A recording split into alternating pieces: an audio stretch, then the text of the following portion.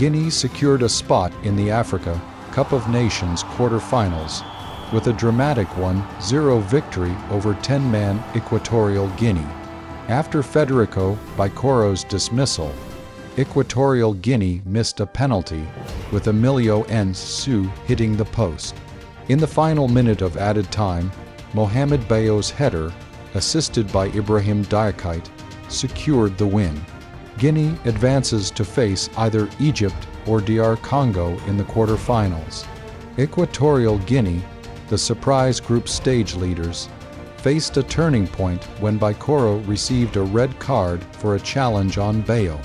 Despite a penalty opportunity, Nsue's miss proved costly. Guinea struggled to capitalize on the numerical advantage until Bayo's late heroics.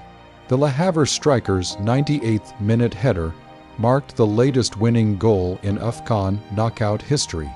Guinea's victory, their first in seven knockout stage appearances, sets up a challenging quarter-final clash. Equatorial Guinea, previously successful in reaching at least the quarter-finals in their last three AFCON appearances, fell short this time. Nsue, the tournament's top scorer, expressed disappointment after the miss.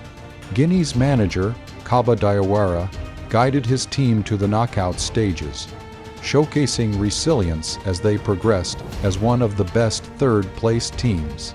The late drama highlighted the unpredictability and excitement of AFCON knockout football.